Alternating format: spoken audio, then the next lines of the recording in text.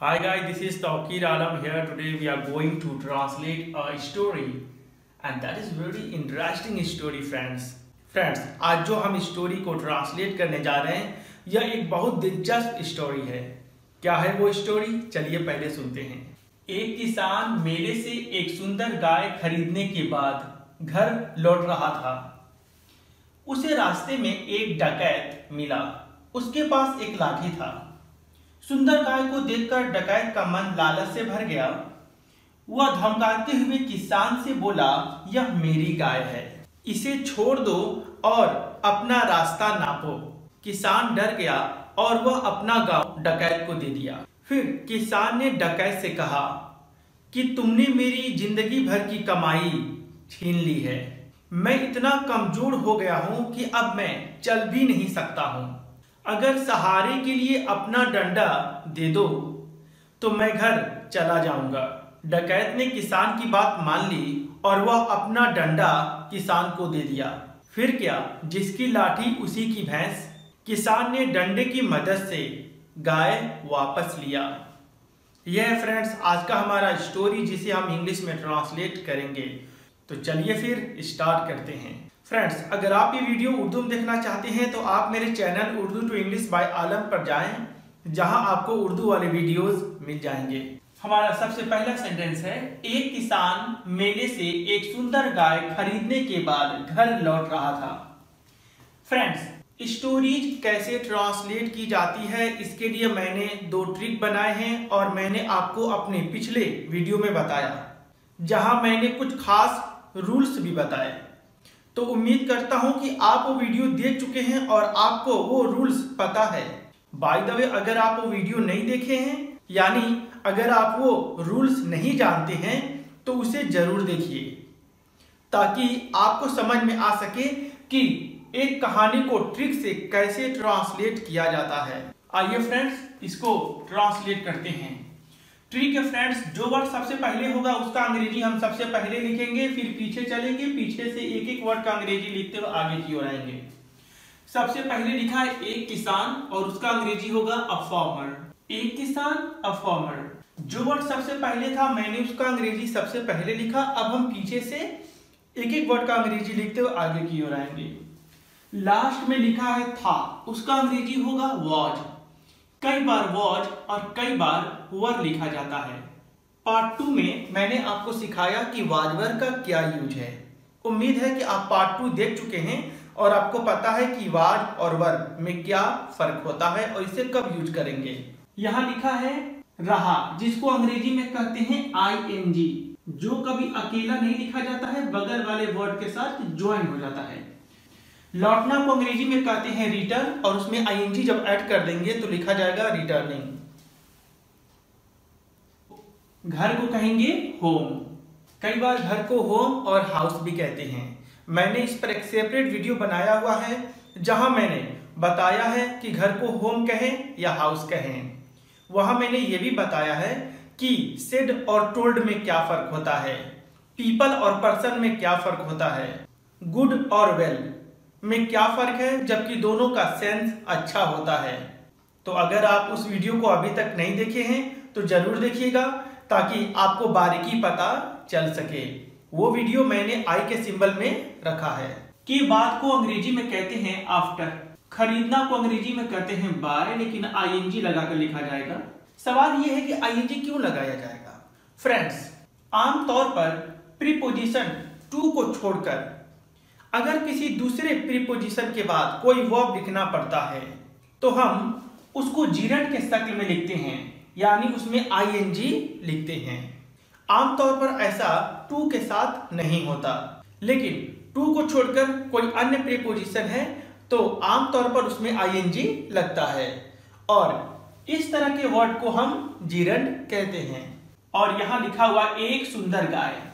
तो हम इसका अंग्रेज़ी लिखेंगे, अ ब्यूटीफुल और गाय को कहते हैं काउ अब आप में से कई सारे स्टूडेंट सोचेंगे कि मैंने ये तीन वर्ड को एक साथ जोड़कर क्यों लिखा?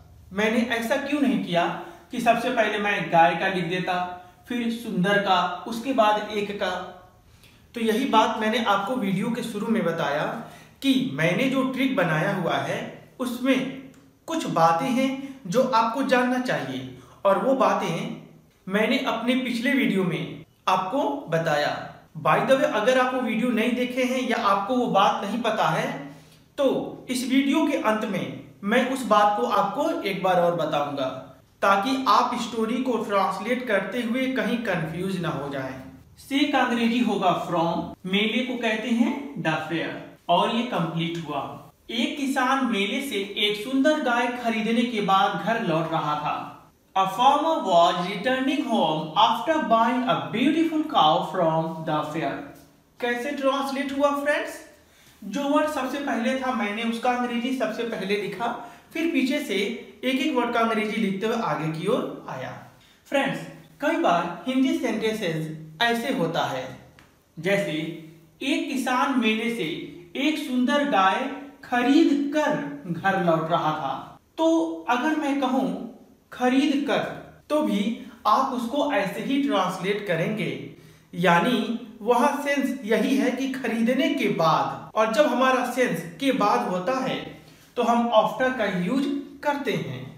आइए फ्रेंड्स अब इसको ट्रांसलेट करते हैं। उसे रास्ते में एक डकैत मिला। ये वाक्य यहाँ पर खत्म हो गया। इसलिए हम यहाँ तक ट्रांसलेट करेंगे। उसे यानी ही मिला, यानी फाउंड चूँकि ये गुजरी हुई बात है, इसलिए मैंने फाइंड का सेकेंड फॉर्म फाउंड लिखा।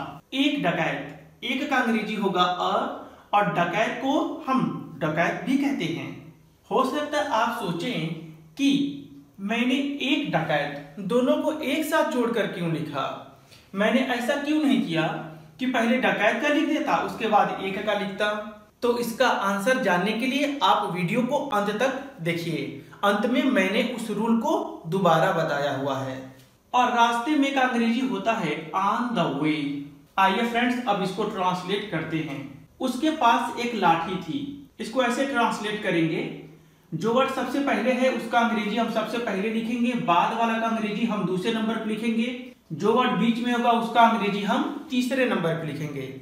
आप सोचेंगे कि मैंने अपना रूल क्यों बदल दिया? अभी तक जो मैंने आपको ट्रांसलेशन सिखाया मैंने बोला, जो वर्ड सबसे पहले है, उसका अंग्रेज़ी आप सबसे पहले लिखिए। फिर पीछे से एक एक वर्ड का अंग्रेज़ी लेते हो आगे की ओर आइए। अभी मैं कह रहा कि जो वर्ड सबसे पहले है, उसका अंग्रेज़ी सबसे पहले लिखिए। बाद वाला का अंग्रेज़ी दूसरे नंबर पर और बीच वाला का अंग्रेज़ी तीसरे नंबर पर। मैंने ऐसा क्यों किया? तो मैं आपसे कहूँगा फ्रेंड्स कि आफामेटिव सेंटेंसेस को ट्रांसलेट करने के लिए मैंने दो ट्रिक बनाया हुआ है। और कई बार हम इस ट्रिक का यूज़ करते हैं और कई बार हम इस ट्रिक का यूज़ करते हैं जहाँ जो वर्ड सबसे पहले होता है उसका अंग्रेज़ी हम सबसे पहले लिखते हैं। बाद वाला का अंग्रेज़ी दूसरे नंबर पर और बीच वाला का अंग्रेज़ी तीसरे नंबर पर। और ये बात मैं अपने पिछले वीडियो में बता चुका हूँ। अगर आप दोनों ट्रिक को एक साथ देखना चाहते हैं कि कैसे जाने कि कौन सा ट्रिक कब यूज़ करेंगे तो आप पार्ट 21 देखिए। पार्ट 21 में मैंने दोनों को एक साथ बताया हुआ है। उसके का अंग्रेज़ी होगा ही अगर बात किसी मेल की हो तो हम ही का यूज़ करेंगे। और पास था का अंग्रेज़ी होता है हैड कई बार जब मैं क्लासरूम में ये बात पढ़ाता हूँ तो मेरे स्टूडेंट पूछते हैं कि था के लिए तो हम वाज या वर लिखते हैं? तो हैड क्यों? तो मैं आपसे कहूँगा फ्रेंड्स जब बात रखने की हो तो वाजवर के जगह पर हैड का यूज़ करते हैं। यानी, इज़ आराम का मतलब भी है हूँ होता है, और हैवेज का मतलब भी है हूँ होता है। हैड का मतलब भी था, और वाजवर का मतलब भी था।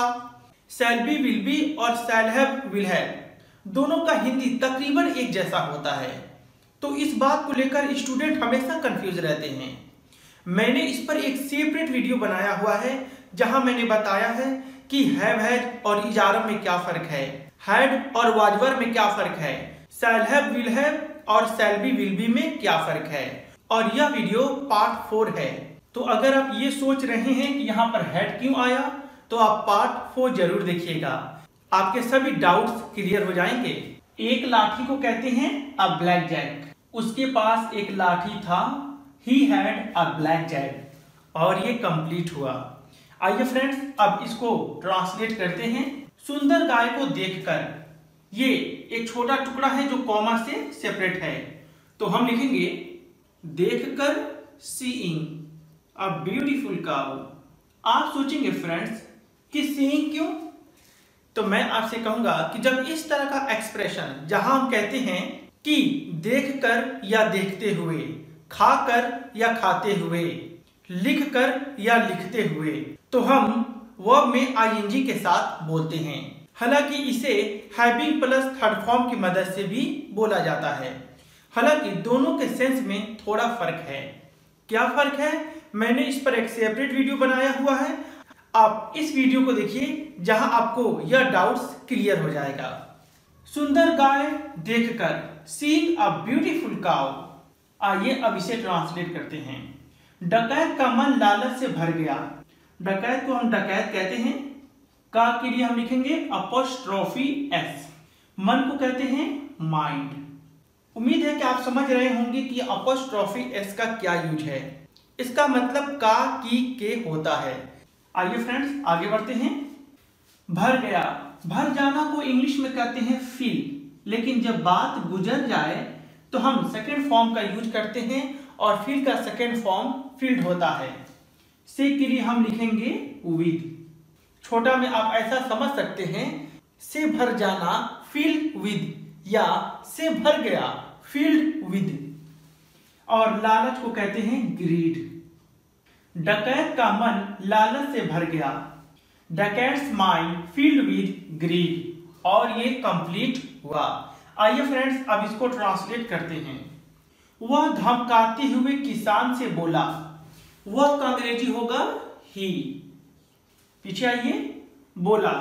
बोलना को अंग्रेज़ी में स्पीक कहते हैं, लेकिन जब बात गुजर जाए तो सेकेंड फॉर्म लिखा जाएगा, और स्पीक का सेकेंड फॉर्म होता है स्पोक से के लिए हम लिखेंगे टू यानी स्पीक टू का मतलब होता है किसी से कोई बात बोलना, और स्पोक टू का मतलब होता है किसी से कोई बात बोला। और किसान को कहते हैं, द फार्मर। धमकाते हुए हम लिखेंगे थ्रेटनिंग वह धमकाते हुए किसान से बोला he spoke to the farmer threatening और ये कंप्लीट हुआ। आइए अब इसे ट्रांसलेट करें। यह मेरी गाय है। इसको कैसे ट्रांसलेट करेंगे?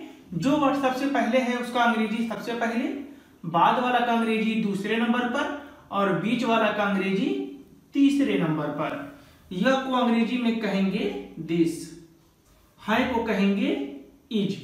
मेरी का है माई काउ या मेरी का है दिस इज़ माई काउ इसे छोड़ दो। हम लिखेंगे लीव इट। या लीव दिस। आप सोचेंगे ये कैसे ट्रांसलेट हुआ?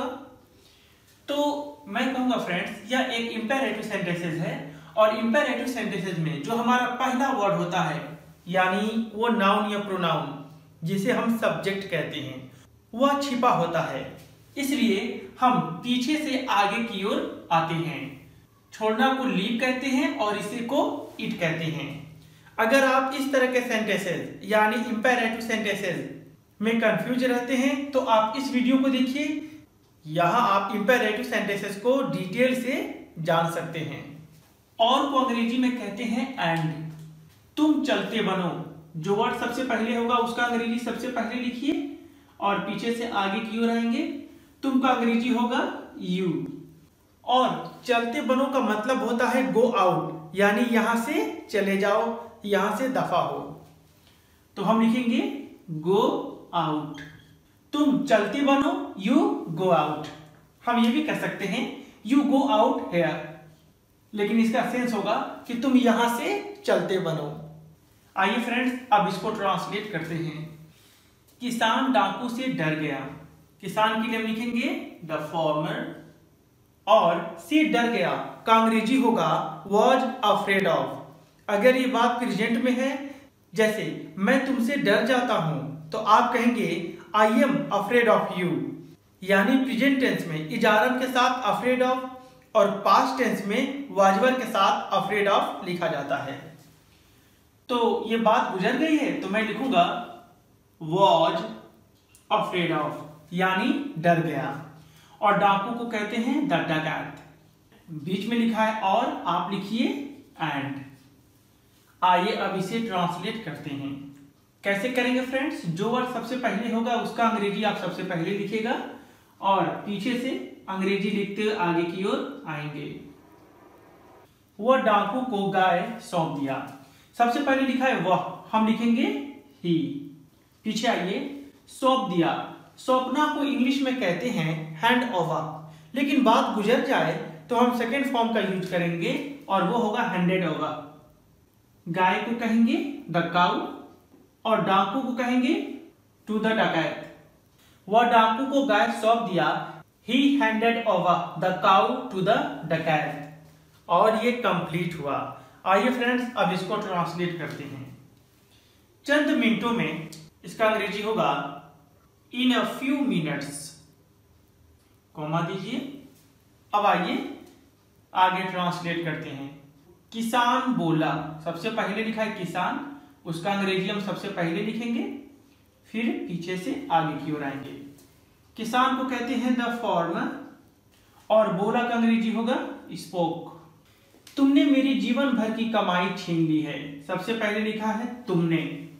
हम लिखेंगे यू पीछे आइए। छीन लिया है। या है, ई है, ए है। या, चुका है, चुकी है, चुके हैं। के लिए हम है प्लस थर्ड फॉर्म या हैज़ प्लस थर्ड फॉर्म का यूज़ करते हैं। और यह बात मैंने आपको इस वीडियो में बताया। यहाँ मैंने आपको बताया have plus third form has plus third form had plus third form shall have plus third form और will have plus third form का क्या यूज़ है? उम्मीद है कि आप इस वीडियो को देख लिए होंगे और आपको ये बात पता है। तो छीन लिया है कहा हम लिखेंगे है प्लस थर्ड फॉर्म छीनना को स्नैच भी कहते हैं, हम लिखेंगे स्नैच्ड यू हैव स्नैच्ड तुमने छीन लिया है। कमाई यानी द अर्निंग्स। आगे बढ़िए, की का अंग्रेज़ी होगा? ऑफ़ मेरी जीवन भर का अंग्रेज़ी होगा।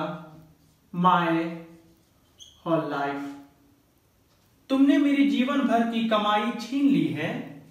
You have snatch the earning of my whole life कैसे ट्रांसलेट हुआ? जो वर्ड सबसे पहले था, मैंने उसका अंग्रेज़ी सबसे पहले लिखा। फिर पीछे से एक एक वर्ड का अंग्रेज़ी लिखते हुए आगे की ओर आया। और ये कंप्लीट हुआ। आइए फ्रेंड्स इस कहानी को अब खत्म करते हैं। अब मैं इतना कमज़ोर हूँ कि मैं चल भी नहीं सकता हूँ। चलिए फ्रेंड्स इसको ट्रांसलेट करते हैं। अब नाउ मैं इतना कमज़ोर हूँ। जो वर्ड सबसे पहले उसका अंग्रेज़ी सबसे पहले लिखिए, बाद वाला अंग्रेज़ी दूसरे नंबर पर। और जो वर्ड्स बीच में है, उसका अंग्रेज़ी तीसरे नंबर पर। मैं का अंग्रेज़ी होगा आई हूँ का अंग्रेज़ी होगा एम और इतना कमज़ोर को कहते हैं, इतना के लिए सो का यूज़ करते हैं, कमज़ोर के लिए वीक मैं इतना कमज़ोर हूँ आई एम सो वीक की दैट आइए अब इसे ट्रांसलेट करें। सबसे पहले लिखा है मैं, उसका अंग्रेज़ी होगा आई सकता हूँ का अंग्रेज़ी होता है कैन लेकिन जब यह वर्ड नेगेटिव हो, यानी नकारात्मक हो तो हम कैन की जगह पर कांट का यूज़ कर सकते हैं। कांट का मतलब होता है कैन नॉट भी के लिए हम लिखेंगे इवन और चलना को कहते हैं वॉक मैं चल भी नहीं सकता हूँ आई कांट इवन वॉक दया करके काइंडली तुम अपनी लाठी मुझे दे दो। जो वर्ड सबसे पहले होगा, उसका अंग्रेज़ी आप सबसे पहले लिखेंगे। दे दो, गिव, मुझे, मी, अपनी लाठी, यो ब्लैक जैक हो सकता है आप सोचिए कि यहाँ मैंने दोनों को एक साथ जोड़कर क्यों लिखा? तो फ्रेंड्स इस वीडियो को लास्ट तक देखिए, क्योंकि मैं कुछ रूल्स आपको बताऊँगा, जो मैंने अपने पिछले वीडियो में बताया था। दया करके तुम अपनी लाठी मुझे दे दो kindly you give me your black jack डाकू किसान की बात मान लिया? डाकू, यानी द डकैत. पीछे आइए। बात मान लिया। बात मानना को इंग्लिश में एडमिट कहते हैं। कई बार जब हम ये कहते हैं बड़ों का कहना मानना तो हम ओबे का यूज़ करते हैं। द डकैत एडमिटेड टू यानी डाकू ने मान लिया। किसान की बात को हम अंग्रेज़ी में कहेंगे द फॉर्मर्स पॉइंट। अगर आप चाहें तो ऐसे भी लिख सकते हैं, the point of the farmer. की के लिए हम अपस्ट्रॉफी एस और ऑफ़ दोनों में से किसी का यूज़ कर सकते हैं। डाकू किसान की बात मान लिया, the dacoit admitted to the farmer's point. और यानी एंड। वह लाठी दे दिया। सबसे पहले लिखा है वह। हम लिखेंगे ही दे दिया। देना का तो गिव होता है फ्रेंड्स लेकिन जब बात गुजर जाए तो हम सेकेंड फॉर्म का यूज़ करते हैं। यानी हम लिखेंगे गेव और लाठी को कहेंगे the black jack and he gave the black jack और वह लाठी दे दिया। फिर यानी देन किसान लाठी की मदद से गाय वापस लिया। सबसे पहले लिखा है किसान, हम लिखेंगे द फॉर्मर। पीछे आइए, लिया। लेना अंग्रेज़ी टेक होता है, लेकिन बात गुजर जाए तो टेक का सेकेंड फॉर्म टुक का यूज़ करते हैं। वापस बैक गाय द काउ से, बाई। मदद हेल्प की। ऑफ़ लाठी। आप चाहें तो लाठी के लिए स्टिक भी लिख सकते हैं। फिर किसान लाठी की मदद से गाय वापस लिया। Then The farmer took back the cow by the help of blackjack. और फ्रेंड्स यह कंप्लीट हुआ। फ्रेंड्स मैंने यहाँ एक स्टोरी को ट्रिक से ट्रांसलेट किया। फ्रेंड्स अगर आपको मेरा काम पसंद आया, यानी अगर आपको लगे कि वाकई मैंने कुछ अच्छा ट्रिक बनाया है। तो फ्रेंड्स, इस वीडियो को ज़्यादा से ज़्यादा शेयर करें मेरी कॉन्फिडेंस के लिए, ताकि मैं आपके लिए हर रोज एक नया लेसन ला सकूँ। फ्रेंड्स, आप हिंदी वाले सेंटेंसेस को इंग्लिश में शानदार तरीके से ट्रांसलेट करें, या इंग्लिश वाले सेंटेंसेस को हिंदी में ट्रांसलेट करें। आपको ये बात जानना ज़रूरी है। यानी जो मैंने ट्रिक बनाया हुआ है, उसके लिए आप इसे जानिए क्योंकि ये एक्सेप्शन है। और ये आपको ट्रांसलेशन करने में बहुत हेल्पफुल होगी। तो चलिए फ्रेंड्स देखते हैं ये क्या है। Friends always often never just already ये ऐसे वर्ड हैं जो हमेशा मेन वर्ब से पहले लिखे जाते हैं।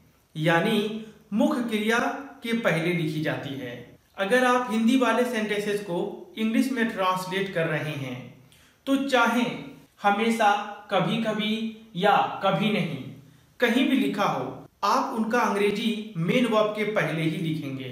या अगर आप इंग्लिश वाले सेंटेंसेस को हिंदी में ट्रांसलेट कर रहे हैं तो इन सभी वर्ड्स का हिंदी आप मेन वर्ब के पहले लिखेंगे। आइए फ्रेंड्स देखें कि दूसरा एक्सेप्शन क्या है। फ्रेंड्स ऑल्सो यानी भी। अगर आप हिंदी वाले सेंटेंसेस को इंग्लिश में ट्रांसलेट कर रहे हैं तो जिस नाउन के साथ भी आया है, जैसे तुम भी, मैं भी, वे लोग भी, अमित भी तो जिस नाउन या प्रोनाउन के साथ भी आता है, हम उसको उसी के साथ लिखते हैं। यानी उस नाउन या प्रोनाउन के बाद ऑल्सो लिखते हैं। अगर आप इंग्लिश वाले सेंटेंसेस को हिंदी में ट्रांसलेट कर रहे हैं तो उस नाउन के बाद आप भी लिखें। तीसरा एक्सेप्शन है फ्रेंड्स अगर किसी नाउन के पहले आर्टिकल ए एन है, यानी अगर आप किसी इंग्लिश वाले सेंटेंसेस को हिंदी में ट्रांसलेट कर रहे हैं और किसी नाउन के पहले ए एन आया है तो आप उसको जोड़ कर लिखेंगे।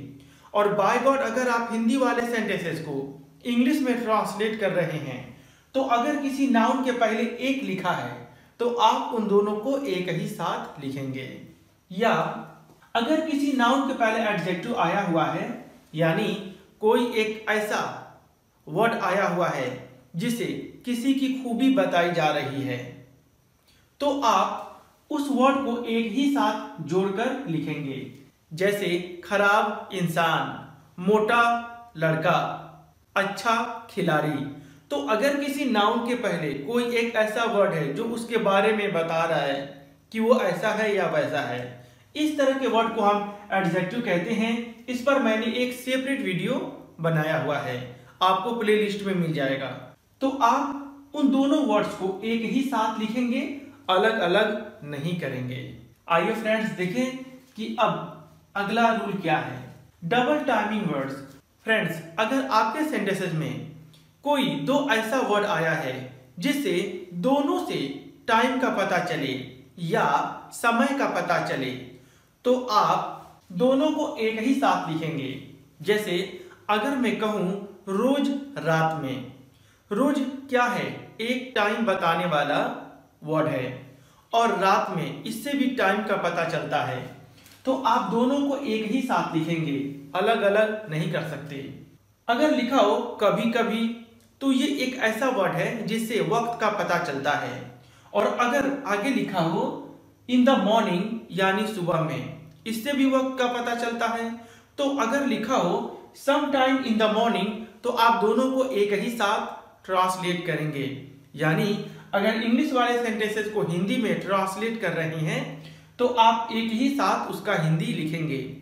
बाय गॉड अगर हिंदी वाले सेंटेंसेस को इंग्लिश में ट्रांसलेट कर रहे हैं जैसे कभी कभी सुबह में तो आप उसका अंग्रेज़ी एक ही साथ लिखेंगे। अगर लिखा हो एवरीडे इन द इवनिंग तो आप इसका हिंदी एक ही साथ लिखेंगे, प्रतिदिन शाम में। और बाय गॉड अगर हिंदी वाले सेंटेंसेस में लिखा हो तो हर रोज शाम में का अंग्रेज़ी एक ही साथ लिखा जाएगा, क्योंकि ये दोनों ऐसे वर्ड्स थे जिससे टाइम का पता चल रहा था। तो फ्रेंड्स ये बात आप याद रखेंगे। कुछ और बातें हैं, चलिए उसको भी समझते हैं। फ्रेंड्स जब हम हिंदी वाले सेंटेंसेस को इंग्लिश में ट्रांसलेट करेंगे, या फिर इंग्लिश वाले सेंटेंसेस को हिंदी में ट्रांसलेट करेंगे तो मैं आपसे कहूँगा, पहला शब्द या फ़र्स्ट वर्ड तो फ़र्स्ट वर्ड जो होता है, वो नाउन या प्रोनाउन होता है। यानी जो हमारा पहला वर्ड होता है, वो कोई नाउन या प्रोनाउन होता है। यह बात आप याद रखेंगे। अक्सर आपके सेंटेंसेस में दो ऑब्जेक्ट आ जाते हैं। पहला लिविंग ऑब्जेक्ट और दूसरा नॉन लिविंग ऑब्जेक्ट अगर आप ऑब्जेक्ट के बारे में डिटेल से जानना चाहते हैं तो मैंने इस पर एक सेपरेट वीडियो बनाया हुआ है। आप इसे देखिए, आपके डाउट्स क्लियर हो जाएँगे। तो फ्रेंड्स अगर आपके सेंटेंसेस में दो ऑब्जेक्ट है, पहला लिविंग ऑब्जेक्ट, यानी वह ऑब्जेक्ट जिसके अंदर जान हो। और दूसरा, नन लिविंग ऑब्जेक्ट, यानी वह ऑब्जेक्ट जो बेजान हो। तो आमतौर पर जो हिंदी सेंटेंसेस होता है, उसमें जब आप पीछे से आगे की ओर आएँगे तो सबसे पहले आपको नन लिविंग ऑब्जेक्ट मिलेगा। और लिविंग ऑब्जेक्ट बाद में होता है। तो जब आप हिंदी वाले सेंटेंसेस को इंग्लिश में ट्रांसलेट करें तो सबसे पहले आपको लिविंग ऑब्जेक्ट लिखना चाहिए। और दूसरे नंबर पर नन लिविंग ऑब्जेक्ट लिखना चाहिए। या अगर आप इंग्लिश वाले सेंटेंसेस को हिंदी में ट्रांसलेट कर रहे हैं और आपके सामने दो ऑब्जेक्ट है तो सबसे पहले आप लिविंग ऑब्जेक्ट को लिखिए और बाद में नन लिविंग को लिखिए। ऐसा करना अच्छा माना जाता है। फिर मिलेंगे एक नए लेसन के साथ, एक नए वीडियो में। तब तक के लिए बाय